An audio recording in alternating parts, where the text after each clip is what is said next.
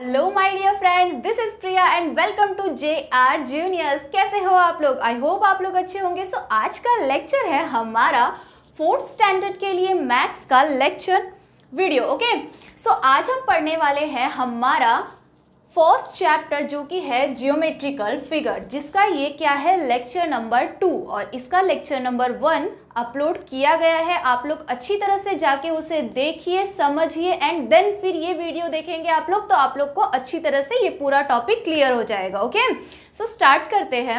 आज हम जानेंगे सर्कल uh, के अंदर के पार्ट्स के बारे में। उसमें और क्या क्या होती है? उसमें कॉर्ड्स होते हैं डायमीटर होते हैं रेडियस होता है सेंटर कैसे सेंटर किस तरह से हम फाइंड कर सकते हैं रेडियस किस तरह से फाइंड कर सकते हैं तो वो सारी चीज़ें अभी हम समझने वाले हैं ओके सो so, चलो सबसे पहले हमें एक सर्कल ड्रॉ करना है। उसमें हम देखेंगे कि उसका सेंटर क्या है। आप लोगों के घर पे प्रोटेक्टर होगा। अगर आप लोग यूज़ नहीं करते होंगे आपके बड़े भाई बहन के पास होगा आप उनसे ले सकते हैं एंड एक बार ट्राई करो कि आप फाइंड आउट करना आप खुद से कि उसका सेंटर क्या है। तो इस पॉइंट को जो मिड ऑफ़ द जो मिडल जो होता है पॉइंट उसको क्या बोलते हैं हम? सेंटर ऑफ़ द सर्कल ठीक है? ये क्या है? सेंटर ऑफ़ द सर्कल इसे हम खुद से ऐसे ही तुक्का मार के कोई रैंडम सा हम सर्कल बना लेंगे और उसके अंदर डायरेक्ट कोई भी, किसी भी जगह पे हम कोई भी डॉट ड्रॉ कर लेंगे तो वो सर सेंटर नहीं होता है ओके आप लोग को डायरेक्ट रॉन्ग दे दिया जाएगा और उसके पूरे मार्क्स कट जाएँगे आप लोग के, ठीक है?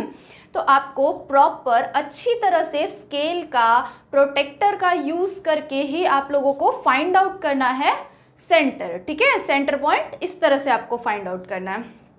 देन देखते हैं हम कॉर्ड। कॉर्ड क्या होता है?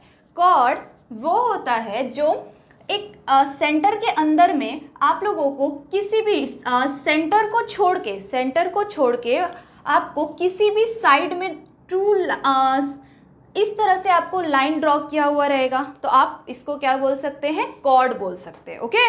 क्या बोल सकते हैं? कॉर्ड बोल सकते हैं, जो कि सेंटर को टच नहीं हुआ है। ठीक है? ये कितना भी आपको दिया हो सकता है एंड इसका नेम नेम कुछ तरह से A B C D A B C D इस तरह से कुछ इसके नेम दिए रहेंगे और आपको बोला रहेगा कि इसमें से कॉर्ड कौन से है। ठीक है? तो इसमें से कॉर्ड आप किस तरह से फाइंड आउट करेंगे? इसमें कॉर्ड है A B and C D ये क्या है? इसके कॉर्ड है। जो कि सेंटर को टच नहीं होते, वो कोई भी साइड में किसी भी तरफ़ से रह सकता है ओके देन ये हो गया हमारा सेकंड एंड देन हम सीखने वाले हैं डायमीटर डायमीटर क्या होता है? डायमीटर होता है रेडियस का डबल ठीक है? रेडियस का डबल रेडियस क्या होता है? डायमीटर का हाफ़ होता है, ठीक है? अगर कोई भी लाइन सेंटर से हाफ़ में ड्रॉ रहेगा तो वो क्या हो जाएगा हमारा? रेडियस हो जाएगा। ठीक है? क्या हो जाएगा हमारा? रेडियस हो सकता है। रेडियस हो जाएगा। तो ये हाफ़ ही होता है। सेंटर से किसी भी एक साइड पे ये ड्रॉ किया हुआ रहेगा। एंड आपको पूछेंगे कि इसमें से आपको रेडियस बताना है। ठीक है? इसमें से आपको रेडियस फाइंड आउट करना है। तो आप इसको नेमिंग दे सकते हैं खुद से भी A B. Okay?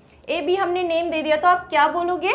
Radius A and B A B क्या है? हमारा रेडियस है, ठीक है? तो ये किसी भी तरफ़ से हो सकता है। अब ज़रूरी नहीं है कि ये यहीं पे होगा। ये इसके बजाय यहाँ भी हो सकता है या फिर यहाँ भी हो सकता है।